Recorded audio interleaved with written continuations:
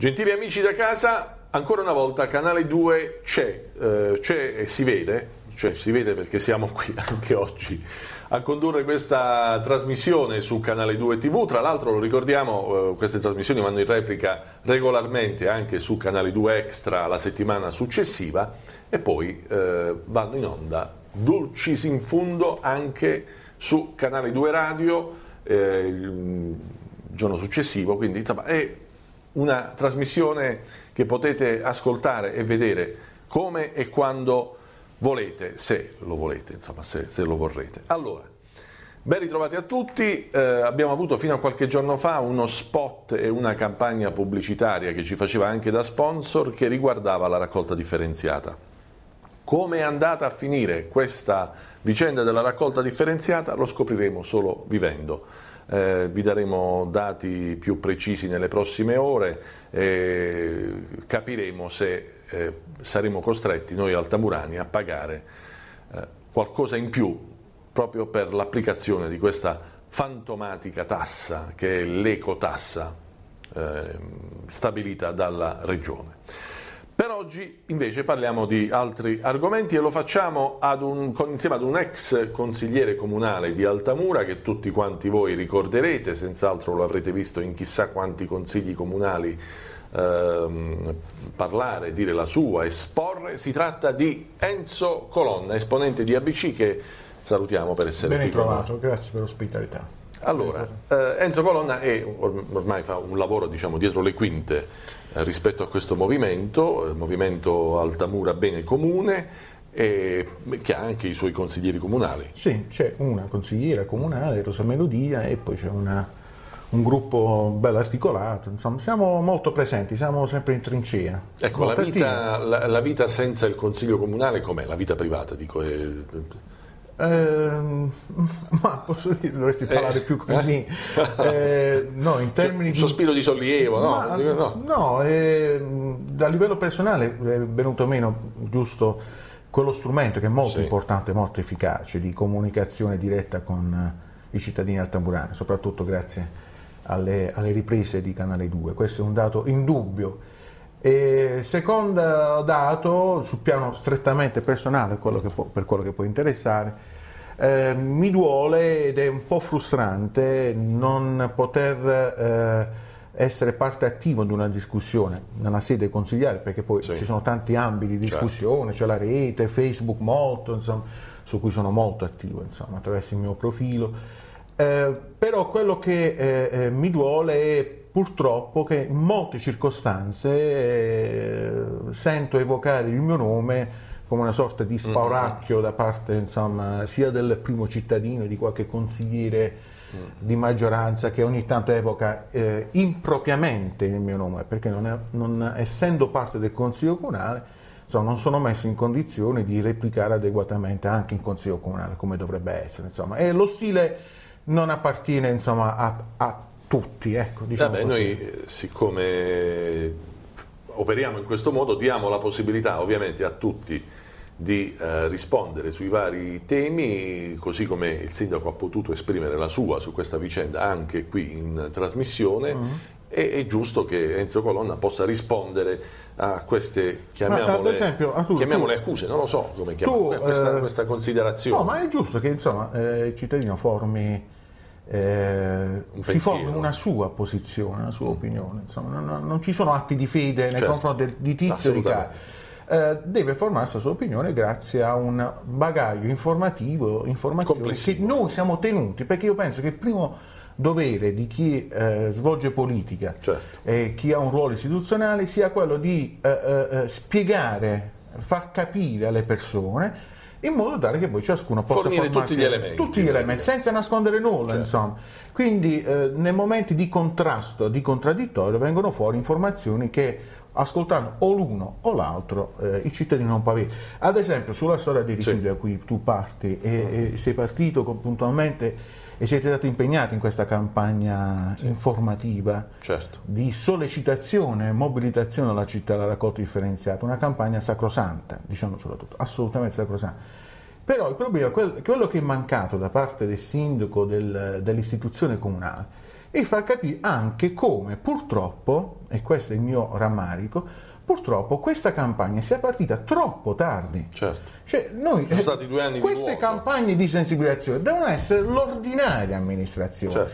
Mi, mi- mi- eh, sono sembrati, sì, c'è stata questa chiamata alle armi, mi raccomando, dobbiamo raggiungere a giugno certi obiettivi di raccolta differenziata, ma non sono state spiegate due cose essenzialmente. Uno, che eh, non si tratta di una legge eccezionale che è No. venuta fuori quest'anno, è una legge che si ripropone ogni anno, sostanzialmente, viene aggiornata ogni anno e che, secondo dato, il comune di Altamura risulta essere già inadempiente al dato dell'anno scorso. Molto sinteticamente, c'è stata una legge di, eh, del, del gennaio 2016 della Regione Puglia, di qualche mese fa, la numero 1 2016, che ha sostanzialmente rimesso Sì. eh, nei No, termini stato detto i questo. comuni È stato- questo è stato inadempienti. Perché noi dobbiamo cercare di coprire L'anno il gap dell'anno scorso 2015 e dicendo che nel mese di giugno bisogna raggiungere una raccolta differenziata che consente di superare di 9 punti percentuali il dato della raccolta differenziata Certo. dell'anno tra l'agosto 2013, eh, settembre 2013 e agosto 2004. Dobbiamo fare 9% in più. In quell'anno Altamura raggiunse, se non sbaglio, circa il 18-19%. Quindi per poter evitare l'aumento dell'ecotassa da 15 euro ai 25-26 euro a tonnellata di rifiuti smaltiti in discarica, a giugno per non pagare questo aumento di 10 euro e più per i dati dell'anno scorso 2015 dobbiamo, dovremmo raggiungere, avremmo dovuto raggiungere nel giugno 2016 9 punti in più, cioè il 27% di raccolta differenziata. Non lo so se ce l'abbiamo fatta. Poi c'è il secondo dato differenziato 2016, anche per quest'anno, come per tutti gli altri anni, quest'anno per giugno avremmo dovuto eh, raggiungere il 5% in più in rispetto totale quasi al dato di 10. novembre. Quindi Certo. o dobbiamo raggiungere il 24% o il 27-28% per poter evitare o di pagare l'aumento sia per il 2015 che per il 2016 o almeno per risparmiarci quello per il 2016. Parliamo di circa 225-250 mila euro ad anno questo supplemento di, di- di ecotassa, cioè che la- il- diciamo, è una sorta di eh, eh, meccanismo che premia i comuni che fanno differenziato. E siccome di raccolta differenziata, anche qui Arturo, ne abbiamo parlato decine di volte, è un dato strutturale, perché ormai Altamura si è attestata ormai da anni su quote del 17-18%. Che non si riescono a E sbloccare. non puoi superarle con una campagna puntuale, efficace, come pure quella che è stata fatta anche attraverso la televisione nell'ultimo mese. Mi Vabbè. sembrano quegli studenti Ma che non, non, hanno provarci studiato sarebbe stato peggio. Assolutamente. Non provarci sarebbe No, stato Anche perché deleterio. aggiungo che la legge stessa imponeva perché poi Certo. di abbinare sia l'aumento della raccolta differenziata con quelle che chiamano le best practice in materia di rifiuti, cioè le migliori pratiche eh, eh, nel campo ambientale, tipo distributore di acqua, cosiddetta l'acqua dei distributori di acqua per risparmiare la plastica, oppure acquisti verdi, oppure appunto campagne di sensibilizzazione rivolte alle scuole o alla cittadinanza, oppure il compostaggio domestico. La legge indicava una serie di misure che dovevano essere adottate per poter beneficiare di quello sconto. Ma ripeto, qui non siamo dinanzi a nulla di sorprendente, è un dato strutturale, una legge che c'è da una vita, una legge che penalizza i comuni che non fanno la raccolta differenziata, Altamura che ferma al 17-18% da anni, una differenza che non è mai decollata sostanzialmente e ora siamo in attesa, spero, eh, di una rapida soluzione con Bisogna eh, vedere l'esito cosa della- accadrà da oggi in poi, perché se poi ci, dimentichi- ci dimenticheremo di questa cosa eh, a Sembra- partire da oggi e allora non avremo fatto Ma sembra come quegli nulla. studenti, un po' per deformazione, quegli studenti che non hanno studiato per l'intero anno o all'università per l'intero semestre, eh, arrabattano una preparazione l'ultima settimana per fare l'esame, insomma. Insomma, tutti i limiti sono evidenti perché non resta nulla di strutturale e soprattutto pro- eh, molto spesso non si raggiunge bene il risultato di conseguire il 18, insomma, stando Anche alla- perché in alla questa metafora. il risultato che si sarà ottenuto insomma, ha contribuito negativamente per il risultato che si sarà ottenuto, non sappiamo quale di preciso, ma in questi anni ha contribuito negativamente la mancanza di consegna per esempio delle buste. Ma assolutamente. Eh, la cattiva condizione dei cassonetti. cassonetti eh, una campagna la, la informativa mancanza. che toccava è toccata. Ci sono stati tanti certa... fattori che insomma, su cui ripeto, giocano ancora... negativamente rispetto a, a questo, questa Negativamente, azione. ma ripeto, fanno, collocano le responsabilità in termini di controllo di presidio nell'istituzione comunale. Quindi io mi auguro davvero che si sia riusciti a raggiungere il risultato a giugno, però davvero eh, non possiamo che piangere le inerzie, eh, le omissioni di tutti questi anni. Non si è mosso un dito Vabbè, e che dobbiamo... Speriamo ora che ci sia davvero cambiamo un cambio di passo. Io ho, ho, ho scritto qualche giorno fa in un post sul mio profilo Facebook, speriamo che ci sia, eh, si arrivi alla fine di un'epoca vale a dire con l'aggiudicazione definitiva, mm. soprattutto con la stipula del contratto, con la, i nuovi operatori, le nuove società selezionate con la gara gestita dalla Consip. Perché nei giorni scorsi appunto eh, la Consip, che è questa società del Ministero del Tesoro, che assiste i comuni e le pubbliche amministrazioni all'espletamento delle gare d'appalto, come in questo caso la Consip ha proceduto all'aggiudicazione provvisoria a luglio, entro luglio, all'aggiudicazione definitiva e poi entro settembre ha comunicato stipulerà il contratto, un contratto che garantirà, destinato a garantire il servizio eh, sia raccolta rifiuti che spazzamento, igiene urbana, i servizi connessi per tutti eh, i sette comuni dell'ambito di raccolta ottimale, quindi Altamura, Gravina, Santerno, Cassano e così via, eh, e per sette anni, un appalto di 120-130 milioni di euro complessivamente, quindi, e mi auguro davvero sia la fine di un'epoca e che non ci si inventi magari qualche altra soluzione che prolunghi questa agonia, questa agonia, perché non possiamo ulteriore. andare avanti con un sistema che era quello concepito più di vent'anni fa con un appalto che era scaduto, ricorderanno, nel febbraio 2012, con un sostanziale prolungarsi di quel servizio di anno in anno e che si arriva davvero a mettere in condizione i comuni di passare ad un sistema di raccolta differenziata a spida porta a porta che consente ai cittadini non solo di ridurre i rifiuti e quindi di ridurre l'impatto ambientale, ma soprattutto anche di alleggerire la tassa sui rifiuti che è aumentata eh, progressivamente certo, di anno in anno, compreso quest'anno, tempi. nonostante i programmi dell'attuale primo cittadino, è aumentata sia per il 2015 con una scelta dell'amministrazione forte ed è aumentata anche quest'anno 2016 per le attività commerciali, sicuramente tutte le attività commerciali, ma anche per le utenze domestiche e residenziali quando i componenti nucleo familiari sono almeno due, da 3 in poi e con aumenti del 6-7% e, per l'attività commerciale molto di più. Speriamo che anche nel futuro si possa fare della pubblicità e informazione per i cittadini perché questa storia della raccolta differenziata è un impegno serio che va assistito e va eh, garantito. Allora, veniamo invece a un altro argomento per cui eh, lei è stato chiamato in causa dal sì. sindaco, lei, eh, sì, perché insomma siamo qui eh, davanti a tutti, insomma, se, sembrare troppo amici non mi sembra il caso, è un fatto, è un fatto proprio così di forma. Allora, dicevo Enzo Colonna, eh, il sindaco l'ha tirata in ballo eh, per la questione della, dell'acquisizione della cava dei dinosauri, perché mm. sembra che ci fosse una, sembra, eh, sembra che sia così, una delibera, un orientamento dell'amministrazione già a 576 mila euro, credo, una cifra 535. del genere. 535 eh, determina delibera sulla quale ci sono, sono stati espressi voti favore, favorevoli di tutti un po' tutti i consiglieri comunali, tra cui c'era anche lei.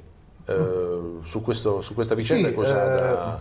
Allora, intanto eh, precisiamo eh, il mio ruolo, come il ruolo di tanti eh, attualmente all'opposizione, è stato sempre un ruolo di minoranza, insomma, di chi non ha mai potuto determinare e mettere in esecuzione propri, eh, mm. le, proprie idee, le, le, le, proprie idee, e le proprie proposte anche eh, in termini amministrativi.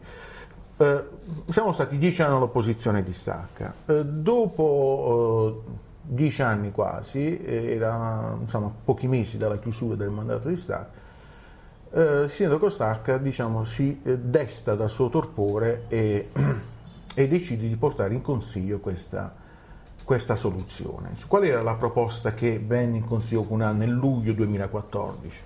Era una proposta sostanzialmente che eh, attivava un procedimento di esproprio mm. eh, affidandolo però al Ministero. Cioè vale a dire c'è un procedimento di esproprio che è regolato dal codice dei beni culturali che vede appunto il Ministero soggetto espropriante. Cioè per esigenze di pubblica utilità, per la valorizzazione dei siti, dei beni, beni culturali archeologici, il Ministero può espropriare. Ebbene, nel luglio 2014, con la proposta che portò in Consiglio Stacca, sostanzialmente il Consiglio Comunale poi con un voto all'unanimità mm. in quel caso, sì. è, è, stato uno dei pochissimi episodi, eh, il Consiglio Comunale e quindi il Comune non faceva altro che chiedere al Ministero, attivando una procedura all'articolo 95 del Codice dei beni culturali, chiedeva al Ministero di avviare l'esproprio, con la precisazione appunto che si trattava in questo caso di una procedura che era tutta ministeriale e eh, in questo caso si diceva al Ministero procedi con l'esproprio, ti chiediamo di procedere con l'esproprio e in più si diceva al Ministero avrai cura di, sto leggendo la delibera del Consiglio Comunale del luglio 2014, si, avrebbe avuto cura il Ministero di garantire anche l'accessibilità dalla strada, mm. quindi doveva curare anche problemi legati all'accesso, sì. che è un problema serio in quel contesto tra l'altro c'è una situazione legata al passaggio a livello chiuso che verrà chiuso da qui a breve e così via, e però eh, eh, questa richiesta al Ministero veniva accompagnata da una disponibilità finanziaria, poiché c'erano stati appunto contatti tra l'amministrazione Stacca, non io certamente, non l'opposizione all'epoca, e eh, la sovrintendenza, la sovrintendenza aveva detto perché il Ministero possa decidere di procedere con l'esproprio, eh, ha necessità di avere la disponibilità di somme da parte del comune e la sovrintendenza stimò questa provvista finanziaria in 535 mila euro. Quindi qual è eh, eh, eh, il passaggio decisivo? Siamo dinanzi a una procedura tutta ministeriale in cui ci si chiedeva semplicemente di mettere a disposizione una somma che non è quella che doveva essere riconosciuta come un indennizzo, era un impegno in bilancio cioè abbiamo una provvista a disposizione del Ministero, tant'è che si precisava nella delibera, le spese eccedenti questa somma resteranno a carico del Ministero, cioè non andiamo mm. oltre 535 mila euro. Sì. Però si diceva altrettanto, eventuali risparmi di spesa saranno ritenute economie per l'ente comunale. Cioè, il limite è 535, se ne spenderai 100, i 435 resteranno a comune, se ne spenderai 700, il di più lo metterai tu come Ministero. Questa vicenda qui si è consumata nel luglio 2014 e si è consumata nel momento in cui, tra l'altro, aggiungo come il dovere dell'opposizione qual è, noi in Consiglio Comunale proponemmo una strada alternativa a questa noi in Consiglio Comunale presentammo un emendamento che la maggioranza dell'epoca ci bocciò, in cui dicevano sostanzialmente perché dobbiamo affidare al Ministero l'esproprio con la somma che ci è stata indicata dalla sovrintendenza, sebbene come tetto massimo di spesa, insomma, perché non prendiamo noi in mano la procedura d'esproprio, la facciamo nostra come sì. comune e chiediamo solo al Ministero di essere autorizzati? Perché questo avrebbe portato in capo al comune tutta la procedura e quindi il comune avrebbe dovuto procedere maggiore. alla stima fatta dal comune, mm. all'elaborazione di un progetto e così via. La maggioranza ce lo bocciò e alla fine, pur di procedere, diciamo, abbiamo dato un voto positivo a questo esito, che affidava al Ministero la procedura, sollecitava il Ministero a procedere con questa procedura e metteva, impegnava in bilancio, cioè garantiva in bilancio una disponibilità che non era la somma dell'esproprio, perché chiedere al Ministero di procedere non significa che il Ministero il giorno dopo sì. fai il decreto di esproprio e ti spendi 535 mila mm. euro. Il Ministero avrebbe dovuto fare quello che aveva detto il sovrintendente. Dice, guardate, il Ministero dopo aver avuto questa richiesta procederà alla redazione di un progetto, avvierà la procedura di esproprio, fisserà la stima del bene, e quindi dirà poi qual è la stima del bene e quindi la somma concretamente necessaria per l'esproprio e 4 farà poi alla fine il decreto ed esproprio. Questi quattro passaggi si sarebbero dovuti eh, consumare dopo questa delibera, ma nulla del genere è avvenuto. E aggiungo un ultimo dato, l'impegno di spesa, cioè quel vincolo in bilancio. Dice Ministero, noi abbiamo 535 per tutte queste esigenze il progetto preliminare, l'avvio della procedura esproprio, la notifica e poi l'indennizzo concretamente riconosciuto dal Ministero.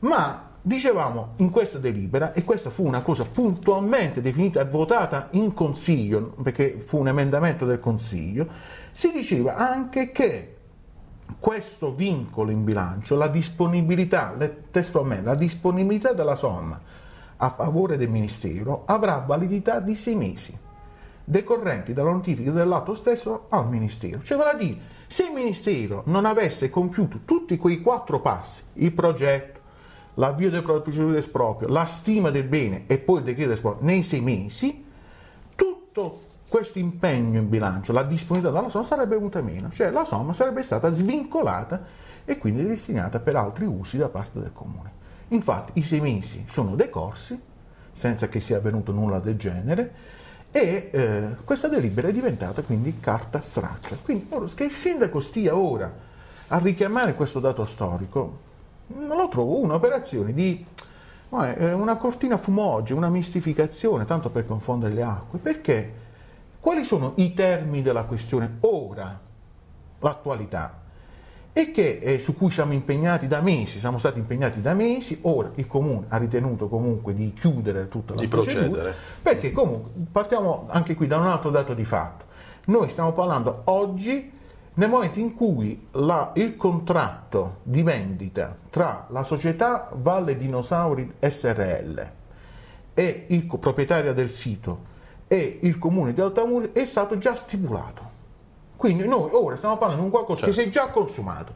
Lo facciamo proprio per dovere, come diciamo prima, di informazione e perché siano chiare anche le cose che sono state dette per mesi da noi e eh, le cose che si sarebbero dovute fare invece e soprattutto i risparmi che si sarebbero potuti determinare. Ora stiamo parlando di qualcosa che si è già consumato e scusatemi, chiama in ballo le Quindi, responsabilità, colloca le diciamo, responsabilità. Diciamo sostanzialmente voi dite quella era la cifra massima che si sarebbe era la cifra massima utilizzare da parte ora... del Ministero, che era una procedura ministeriale. Nel Comunque per acquisire i terreni, dobbiamo dire. Non solo, per, anche per elaborare il, il certo, progetto preliminare e certo. così via. C'è un progetto e l'accessibilità al sito, perché è, è scritto manifestiamo l'interesse eh, all'acquisizione del sito archeologico denominato Cave del Dinosauro mediante procedure espropriative in capo al Ministero dei Beni Culturali, titolare del procedimento, che avrà cura di garantire l'accessibilità allo stesso sito da via pubblica. Quindi il Ministero avrebbe avuto cura non solo di acquisire ma quelle comuni di garantire poi l'accesso complessivo dalla via pubblica. Quindi è una che si può ottenere solo acquisendo Ora, anche i terreni. Anche i terreni. Eh, Dopodiché, quello è ovvio. in bilancio basta. si disse, Ministero, abbiamo 500, abbiamo accantonato 535 mila euro, ma dopo questa procedura, dopo questa delibera, sì, vabbè, la, polemica, la polemica, per il ritornarci problema... sopra era proprio questa, cioè eh, voi contestate, voi di ABC, ma credo tutte le opposizioni, contestate la cifra di eh, finale totale 700 di 700 mila euro, quando invece, voi, quando invece, voi, ne avete votata una di 500 e rotti. Di 500 Ma in realtà non abbiamo votato la stima, perché non c'era una stima. Noi ci siamo mossi fino all'epoca fino a quella cifra. Perché la stima l'avrebbe fino potuta fare cifra. il Ministero. Vabbè, era, diciamo era questa la contestazione. Nella situazione attuale, eh, in Consiglio Comunale a novembre e poi successivamente ancora con gli atti consumati, in realtà siamo dinanzi a un quadro che vede il comune procedere all'acquisto di queste aree, che sono pascoli, perché questo dobbiamo anche chiarirlo ai cittadini altomunani. La superficie su cui sono le orme, su cui sono impresse le orme mm. dinosauri, quella superficie è già del demanio. Eh certo. Qui ho decreto del, demanio, del Ministero dei Beni Culturali del 2000 che praticamente con l'allegata eh, planimetria che segnala appunto come questa è l'area dove c'è stato il vincolo diretto, cioè l'area su cui sono impresse le orme. Qui c'è una zona delimitata in grigio che però non è evidenziata in questa, ovviamente in questa stampa, dove sì. c'è un vincolo indiretto sostanzialmente. Sì, eccola qui Quindi l'area nero è quello dove c'è stato apposto il vincolo diretto, perché ci sono le orme di dinosauri. Poi attorno ci sono le superfici con termini dove c'è un vincolo indiretto. Ora, il comune ha acquistato tutta l'area, però in realtà la superficie su cui è già demaniale. Primo dato. Bene, Secondo dato, in tutte le procedure espropriative, qualunque procedura, e questo non è da meno, il soggetto che espropria ha il primo ha due doveri preliminari. Quali sono? Uno, fare un progetto. Cioè io esproprio perché ho esproprio quest'area, di fare perché voglio cosa. fare la strada, perché voglio fare una scuola. Non esproprio perché prima lo compro e poi, domani, e poi domani mi regolo cosa devo fare. In questo caso manca totalmente un progetto di valorizzazione.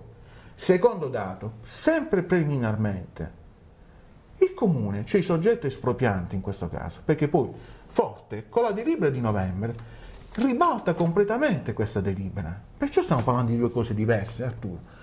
Qui stiamo parlando di una delibera, quella del 2014, che diceva al Ministero ti chiediamo di espropriare e quindi fai la stima, fai il progetto e intanto una, ti mettiamo a disposizione 530, massimo 535 mila euro.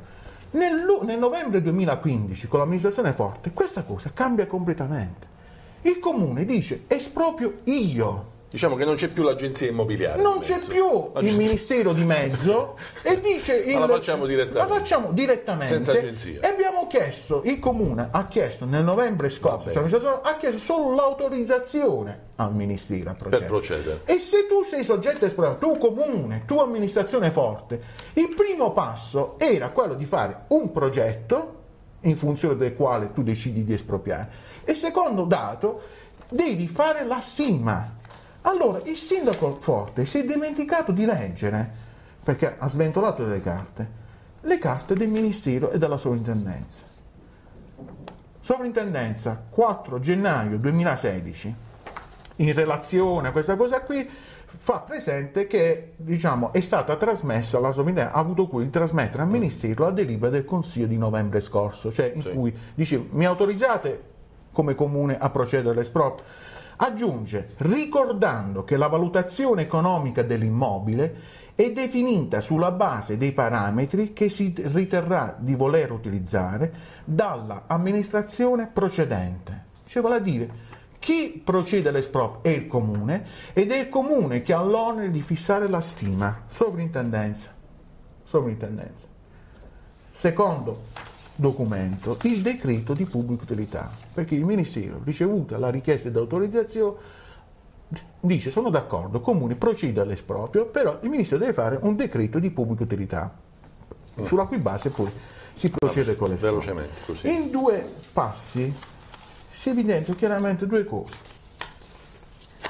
Si esprime parere favorevole all'acquisizione da parte del comune di Altamura, quindi è il comune che espropria, dell'importantissimo contesto geopaleontologico, ricordando, anche questi ricordano all'amministrazione comunale, a Forte, ricordando che la valutazione economica dell'immobile è stata definita dall'amministrazione precedente sulla base di parametri che la stessa ha ritenuto di voler utilizzare. Cioè il Ministero e la Sovrintendenza si lavano le mani dalla, dalla, dalla, stima, perché non essendo più competenza loro l'esproprio, dico, il problema della, della competenza, della quantità. della quantità e dell'indennità da riconoscere, è un problema tuo che devi risolvere tu.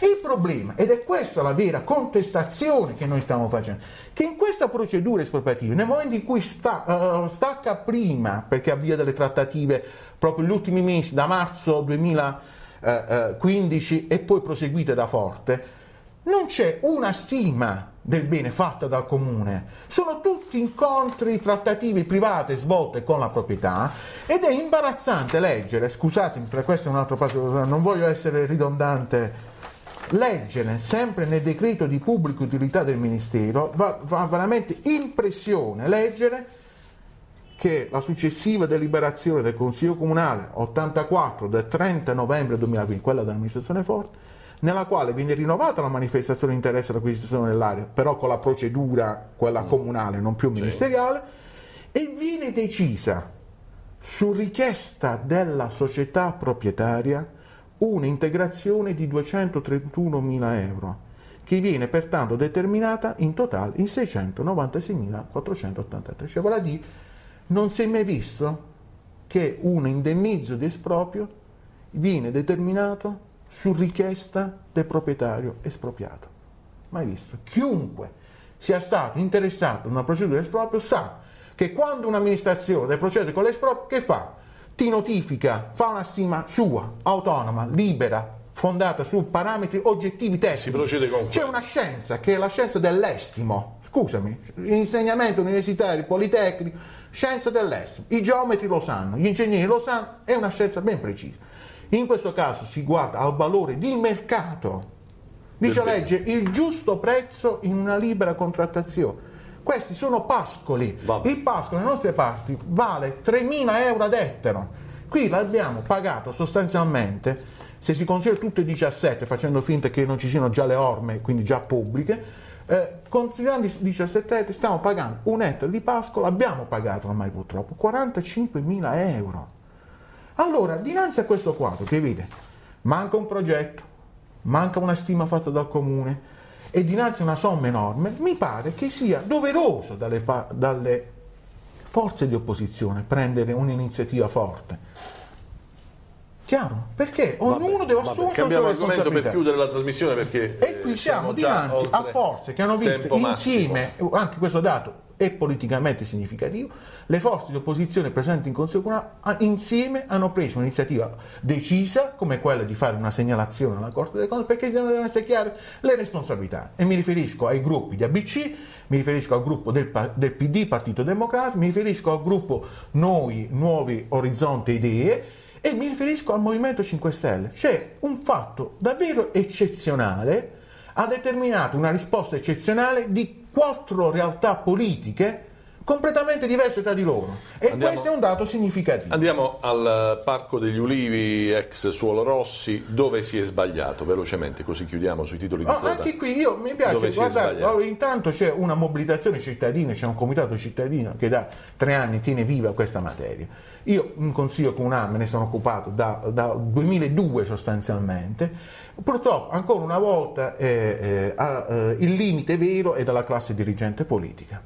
Perché qua il problema non è una controversia, un conflitto tra un gruppo di cittadini e i proprietari delle aree. Non è questa la questione, assolutamente no.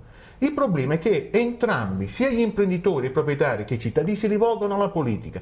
La politica o è capace di creare delle opportunità, eh, nuove idee, Delle nuove soluzioni. altrimenti non ha, sen- non ha significato, non ha senso proprio. E quindi avre- cosa avrebbe dovuto fare allora, la Per anni, questa è una posizione tutta personale, prima con il movimento Aria Fresca, ora semplice cittadino, lo ribadisco, per anni io ho proposto anche in forma scritta in più occasioni, prima all'amministrazione Star e poi ripetuta anche all'amministrazione Fo, che c'erano le possibilità per immaginare in una cornice di un regolamento comunale di prevedere che i volumi, perché lì ci sono i volumi, con una precisa destinazione a servizi pubblici, cioè scuole, caserme e così via, che quei volumi fossero delocalizzati, spostati da via 4 novembre, cioè da una zona che è congestionata, che è che nella zona città. di uno, cuore della città congestionata già dal cemento, di togliere quella volumetria da lì e di spostarla con la stessa destinazione, ad esempio in uno dei quartieri di espansione come il quartiere 30 Capilli,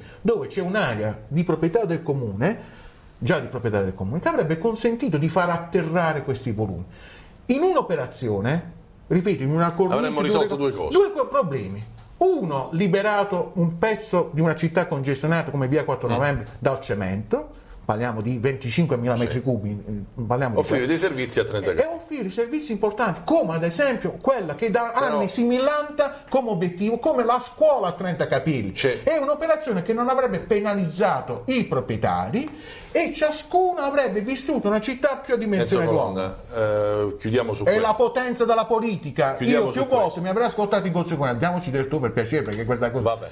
Eh, in Comunale insieme, avrai ascoltato Vabbè. più volte dirmi io non mi rassegno alla impotenza anche, della politica. ma anche questa scelta è arrivata alla fine del mandato Stacca, una coincidenza anche questa? Eh, no, un paio di anni prima. Un Va- paio di anni prima. È stata lì un po' in stand-by, poi con l'insediamento dell'amministrazione forte. Vabbè. Arturo, proprio flash rapidi, consentimi Sì. questa.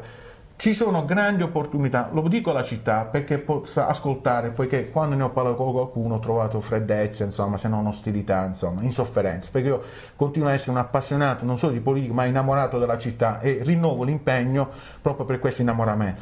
Ci sono, cito solo tre perché ce ne sono anche, tre grandi opportunità.